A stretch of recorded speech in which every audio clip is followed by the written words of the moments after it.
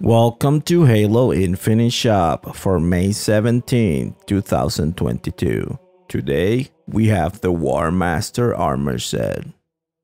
This one's for the Mark 7 and it comes with a legendary helmet, coating, and other goodies. Honestly, I don't like it, so I'm just gonna skip it. Oh wait, it comes with a panda. I love pandas. However, this design looks like it was made for $5 on Fiverr. I'm not even kidding. This looks generic as fuck. You know, when people start streaming and they need like a new logo like real quick, that's what this looks like. Next we have Cordovan Thunder. This one's just gonna be coatings for your vehicles. I'm not a big fan of it, so I'm not even gonna- Oh, hey, el tiburón! It looks like we have a shark, ladies and gentlemen.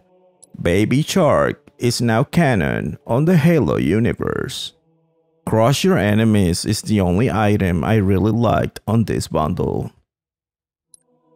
Look at that. Look at this.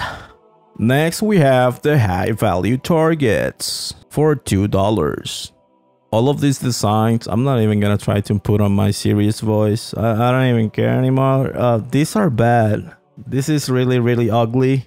I don't know who said yes place that red rectangle over their faces and i i know what they're trying to achieve but it's a bad execution when it comes to design. This is this is not even worth uh, 25 cents. So overall i think we have a bunch of crap nothing is like, oh my god, wow, I need it. But yeah, what do you guys think? Do you like anything on this bundle? Hated everything? You really don't care? I think it's trash, but hey, that's just me.